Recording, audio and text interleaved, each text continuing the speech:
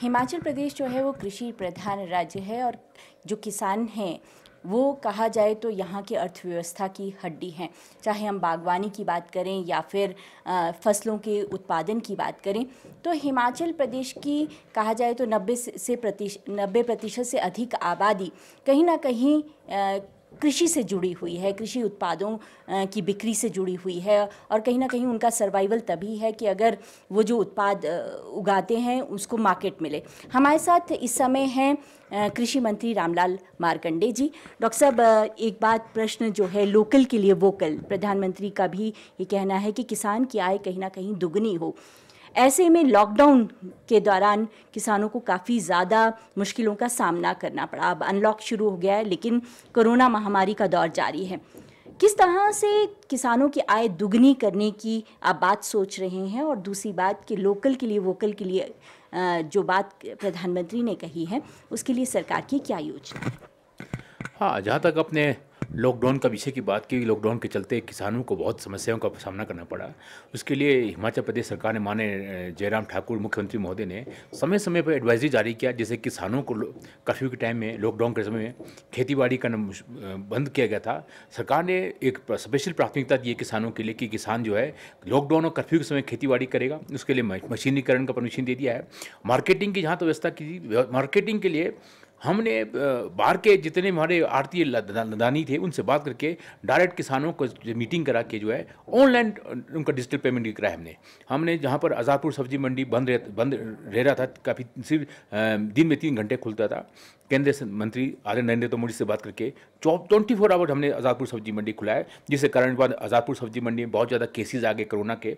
हमने राजपुर सब्ज़ी मंडी ना जाके बार बार से ही किसानों का जो जो प्रोड्यूस था उनको हमने मार्केट में पहुँचाया अच्छा कीमत दिलाने की कोशिश किया है हम्म। आपने लोकल की बहुत बात की है बहुत ही महत्वपूर्ण बात की है भारतवर्ष के प्रधानमंत्री महोदय इस बात को बार बार ज़ोर देते हैं मैं आपको बताना चाहता हूँ हिमाचल प्रदेश का जो कृषि विभाग है पहला विभाग हिमाचल प्रदेश के सरकार का है जिस विभाग ने आदेश जारी कर दिया हिमाचल प्रदेश के विभागों को अपने विभाग के हम्म। डिप्टी डायरेक्टर्स को हम चाइना मेड कोई भी उपकरण यहाँ पर नहीं खरीदेंगे। जी। हम आदेश कर चुके हैं हाँ। क्योंकि जब हमारे हिमाचल प्रदेश के इंडिया के अंदर जो है हर तरह का उपकरण यहाँ तैयार होता है हम चाइना मेड क्यों ले? हाँ। चाइना मेड हम लेते थे क्योंकि उसका कीमत बहुत कम था हाँ। और सारा डुप्लीकेट सामान ही आता था हालाँकि हमारे विभाग में इम्पेनलमेंट बहुत कम हुए थे दो चार जैसा पेट्रोल पंप वगैरह थे हमने सारे बंद कर दिए हैं कि Himachal made India made Himachal Pradesh में जो प्रोड्यूस यहाँ पर जो हमारे जो इंडस्ट्री फैक्ट्री में बनता है उन्हीं चीज़ों को यहाँ लिया जाएगा हम बाहर के बाहर के जो चाइना मेड कोई चीज़ यहाँ पर नहीं लेंगे हम्म। बहुत अच्छा फैसला है डॉक्टर साहब कि आप जो है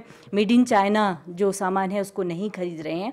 लेकिन अब सेब सीज़न भी शुरू हो गया है। और कहीं ना कहीं बात की जाए तो चाइना ने हमारे कृषि उपकरणों से लेकर फ़ोन तक मतलब चाहे वो इलेक्ट्रॉनिक की बात करें, चाहे हम इलेक्ट्रिसिटी की बात करें, हर जगह पर चीन से बना हुआ सामान आ रहा है। और अब क्योंकि हॉर्टिकल्चर की बात है सेब का उत्पादन शुरू होगा क्या तैयारियाँ हैं? आपने बिल्कुल ठीक कहा कि सेब का सीज़न लगभग शुरू हो चुका है। ऐसे में जो हमारे जितने सब्ज़ी मंडीज़ हैं हमने एसआईटी बना दिया है, हमारे मार्केटिंग कमेटीज़ को बोल दिया हमने हमने जो लदानीज़ हैं उनको काफ़ी आरती यहाँ पर आ चुके हैं। हमने उनको लोग क्या कहते हैं यहाँ पर क्वारंटीन के लिए कहा है कि क्वारंटीन वो इंस्टीट्यूशनल क्वारंटीन नहीं करेंगे, सिर्फ़ बगीचों में जाके बैठेंगे ताकि जो बाहर से लोग आएँगे, उनको समय ज़ाय ना हो, उनको मुश्किलों का सामना न करना पड़े। हमारे जो व्यापारी हैं, जो बेचारे हमारे बागवान बागवान उनको मुश्किल न करना, मुश्किल का सामना न करना पड़े।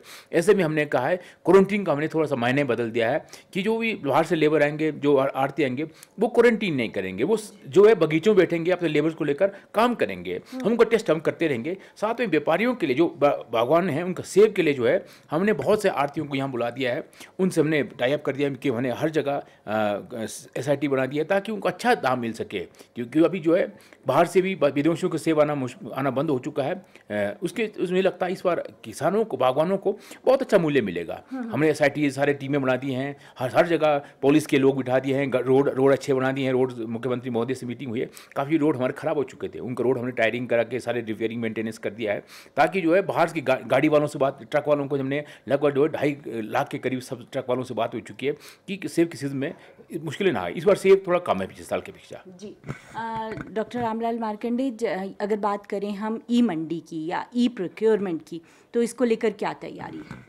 हमारे पास अठारह सब्ज़ी मंडी है जो ई ई मंडी से जुड़ा है।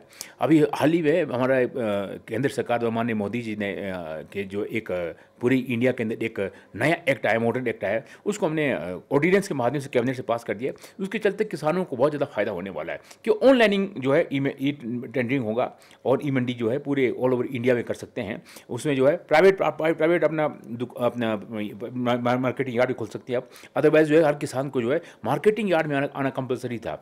अब किसानों को तीन तीन चार चार टुकड़ियों में इकट्ठे होकर वो मार्क मार्केटिंग यार्ड के बाहर भी अपना मार्केटिंग कर सकते हैं प्राइवेट मार्केटिंग कर सकते हैं जिस कारण जो है किसानों को शोषण नहीं होगा उनको अच्छा मूल्य मिलेगा। जी अ, मेरा आखिरी सवाल आपसे ये है कि जो है लॉकडाउन अब ख़त्म हो गया है कहीं ना कहीं ज़िंदगी पटरी पर लौटने लगी है। हालाँकि हिमाचल प्रदेश में कोरोना महामारी का भी बहुत ज़्यादा प्रभाव नज़र नहीं आ रहा है। लेकिन जैसे जैसे ट्रक आएँगे जिस तरह से अ, सामान खास करके सेब की बात करें जब लाखों में ट्रक हिमाचल प्रदेश आएँगे तो कहीं ना कहीं हम ये तो नहीं सोच रहे हैं कि हिमाचल प्रदेश के लोगों में कहीं ना कहीं भय का माहौल है कि इतने लोग आएँगे तो कोरोना साथ लेकर आएँगे। आपने बिल्कुल ठीक कहा। हिमाचल प्रदेश के अंदर लोगों को भय भय है वातावरण बना है कि बाहर के जितने ट्रक आएँगे वो निःशुल्क निश्चित तौर पर बीमारी ले बीमारी लेके आए कोरोना लेके आएँगे। जैसे मेरे लाहौल स्पीति के अंदर हुआ लाहौल स्पीति हिमाचल प्रदेश का पहला जिला था जहाँ कोरोना नहीं था। जो। बिहारों के लेबर वहाँ पहुँचे लेबर लेबर ही कोरोना लेके दो लोग जब पुष्टि पाए गए उस तरह से हमने कहा कि जो भी गाड़ी बाहर से आएँगे उनका प्रॉपर प्रॉपर जो है गाड़ी वालों को हमने कहा कि सब्ज़ी मंडी आएँगे तो सब्ज़ी मंडी रुकेंगे नहीं वो। हम जब भी आएँगे तो ब- बाकायदा दोनों गाड़ियों को दोनों जो स्प्रे करके गाड़ी गाड़ियों को ठीक टाइम पे गाड़ी जब हम सामान फूल डालेंगे फल डालेंगे या सब्ज़ियाँ डालेंगे दोनों टाइम पे दोनों टाइम हम गाड़ियों को स्प्रे करके भेजेंगे और गाड़ी वालों ड्राइवर को का मास्क मास्क लगा के और हमारे सब्ज़ी मंडी दिल्ली से आएँगे तो सब्ज़ी मंडी ज़्यादा देर तक नहीं रुकेंगे। ताकि सब्ज़ी मंडी से बाहर निकल जाएँ टाइम टाइम पर निकल जाएँ ताकि जो वहाँ से जो है क्योंकि बाहर के लोग आएँगे निश्चित तौर पर कोरोना फैलने के चांसेस रहता है। ऐसे ही हमने सावधानी रखने के लिए कहा है कि जो जो भी ट्रक वाले आएँगे उनको हमने पुलिस वालों को भी कहा है कि वो हर जगह पर नहीं रुकेंगे। उनके लिए हमने कुछ चिन्हित जगह रखे हैं शौचालय का सुनिश्चित जगह है होटल्स के चिन्हित चिन्हित जगह की कर दिए हैं तो वहीं पर रुके। ताकि होटल में को हम बार बार चेक करें ये कहाँ ठहरते हैं कहाँ जाते हैं। अदरवाइज़ क्या होगा अगर सारा हम ट्रेसिंग ट्रेस कर सकते आपने ठीक कहा इनका ट्रेसिंग करना बहुत ज़रूरी है। और समय का समय समय का कौन सी गाड़ी कहाँ से चल रही है ताकि उनको चेक कर सके कौन ड्राइवर है कौन उनका क्लीनर है। उनका सभी कहाँ पर एड्रेसेस होने चाहिए। हमने बड़ा कोशिश किया है कि ये कोरोना ना फैले। लोगों में भय का वातावरण ना हो। डॉक्टर रामलाल मार्कंडे का कहना है कि जो कृषि विभाग है वो सेब सीज़न के लिए पूरी तरह से तैयार है और वे सुनिश्चित करेंगे कि जो बाहर से ट्रक आ रहे हैं उसमें कोरोना महामारी का जो संकट है वो हिमाचल प्रदेश में उस ज़रिए ना आ सके। अ, उनका ये भी कहना है कि जिस तरह से सरकार ने ई मंडियाँ और ई प्रोक्योरमेंट की योजना बनाई है या जिस तरह से उस पर काम कर रही है इससे किसानों को लाभ होगा। डॉक्टर साहब आपने हमसे बातचीत की बहुत बहुत धन्यवाद।